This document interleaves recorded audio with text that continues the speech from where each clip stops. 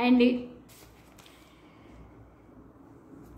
మనం ఈరోజు ఒక నగ్న సత్యం గురించి మాట్లాడుకుందాం. నిజం గెలవాలి అనే విషయం కాదండి. నేను మాట్లాడుతున్నది నగ్న సత్యం గురించి మాట్లాడుతున్నాను. పంట పొలాలు.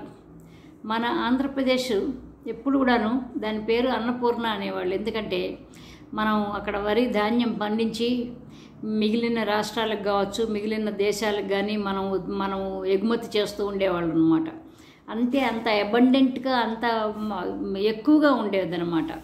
చాలా ఎక్కువగా ఉండేవన్నమాట మనకి అవసరానికంటే మించి ఉండేదన్నమాట. కాబట్టి ఏంటంటే అటు అన్నపూర్ణ అన్నపూర్ణ అంటూ ఉండేవాళ్ళు. చాలా చక్కటి వరి ధా ధాన్యాలు అవి పంప ఎగుమతి చేస్తూ ఉండేవాళ్ళు అనమాట కానీ ఏంటంటే ఇటీవల కాలంలో మన ఆంధ్రప్రదేశ్లో సరే అన్ని చోట్ల కూడాను కంపార్ట్మె అపార్ట్మెంట్లు ఆ కల్చర్ వచ్చింది కాబట్టి అలాంటి కల్చర్ రావటం మూలంగా ఏమైందంటే సరే పంట పొలాలు కూడా చాలా వరకు పంట పొలాల్లో కూడాను ఫ్లాట్స్ కడుతున్నారు. అది అది పక్కన పెడదాం. అది పక్కన పెడదాం. అది అది నెగ్లిజిబుల్గానే ఉంటుంది. కానీ ఏంటంటే ప్రపంచంలో ఎవ్వరు కూడాను ఎవ్వరు ఏ ఏ ఒక్క దేశం కూడాను కావాలని పంట పొలాలు నాశనం చేసుకోరండి. అంటే నాశనం చేసుకోరంటే కా తగలబెట్టుకోవటం అని కాదు నష్టపరుచుకోరు. అంటే వాటిని సర్వనాశనం చేసి వాటిని వాటిని పంట పొలాలు పండనివ్వకుండా పంటకి అవస పనికి రాకుండా చేయటం చేయటం ఎవరు కూడా చేతులారా చేసుకోరు అనమాట ఇప్పుడు ఆల్రెడీ మనకి ఏమైందంటే కొన్ని చోట్ల కొన్ని దేశాల్లో యుద్ధాలు జరిగినాయి. ఆ యుద్ధాలలో ఎలా జరిగింది? వాళ్ళు ఎంత ప ఎంతంత పంట పొలాలు ఎంత నష్టం నష్టం అయిపోయింది వాళ్ళు ఎంత బాధపడ్డారు? ఎందుకంటే ఆ పంట పొలాలన్నీ కూడా వాళ్ళు వాళ్ళు నాశనం చేసుకుంది కోరుకుని నాశనం చేసుకున్నది కాదనమాట. యుద్ధం యుద్ధం జరుగుతున్న ప్రాంతాల్లో ఏమవుతుందంటే కొంత అన్నీ కూడాను నా నాశనం అయిపోతుంది. ఆ భూమి అంతా కూడా పాడైపోతుంది అనమాట అట్లాంటి నా నాశనం అయిపోయిన దానిలో మనకి ఇప్పుడు ఇజ్రాయెల్ పాలస్తీనా యుద్ధం నాశనం యుద్ధంలో నాశనం నాశనమైన పంట పొలాలు ఐదు వందల ఎకరాలు.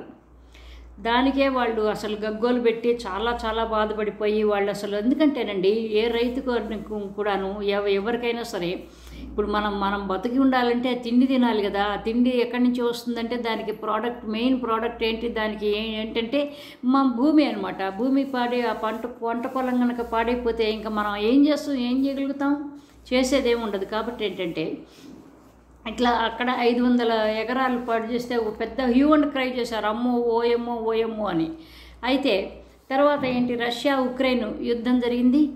ఆ టైంలో వాళ్ళకి అక్కడ పంట పొలం నష్టమైందండి. నష్టం జరిగింది అంటే నాలుగు వేల ఐదు వందల ఎకరాలు. అసలు వాళ్ళు అసలు ఆ తిండి తిప్పలు లేకుండా బాధపడిపోతూనే ఉన్నారనమాట అది తలుచుకుని వాళ్ళకి జరిగిన నష్టం జరిగింది తెలుసుకుని గుర్తు చేసుకుని.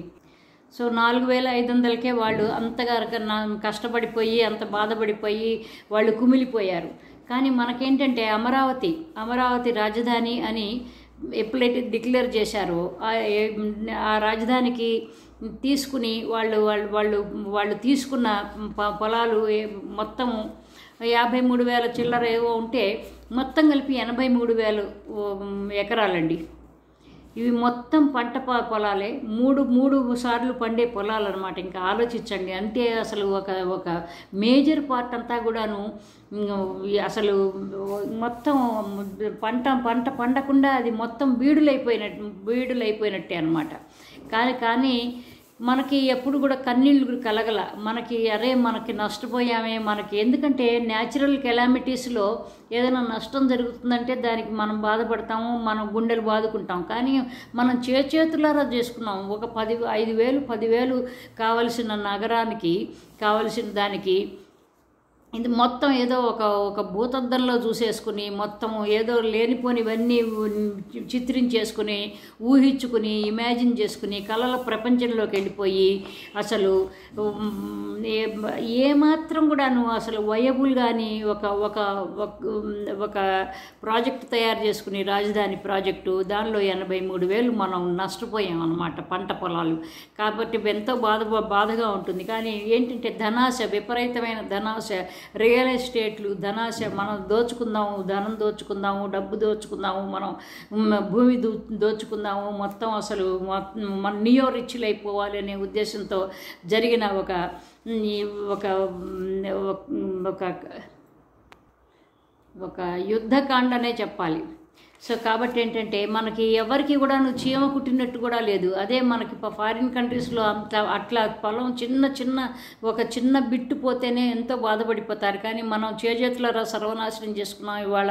మరి రాబోయే కాలం రాబోయే కాలంలో రాబోయే తరాలకి మనం ఏం అందిస్తామో మనకు తెలియదు సో అదండి సంగతి.